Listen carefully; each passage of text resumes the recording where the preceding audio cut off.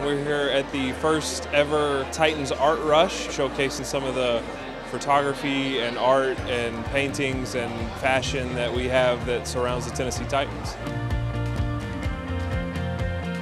Personally, I was really excited about the uh, Faces series that we hung. I felt like it really showcased the guys' personalities, and I think any chance that we get to show the guys for who they are off the field uh, without a helmet on, I think is a really great opportunity.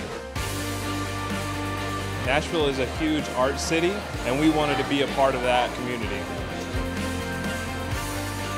I've looked at wonderful photographs and some wonderful special design cleats for the Titans, as well as a special design suit by Manuel.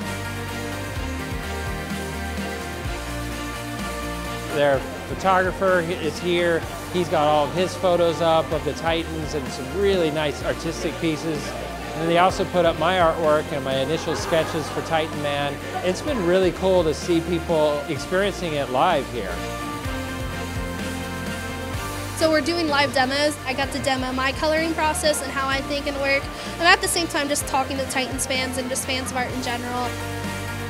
It's been a really lovely event, um, and I hope to see it continue in the future.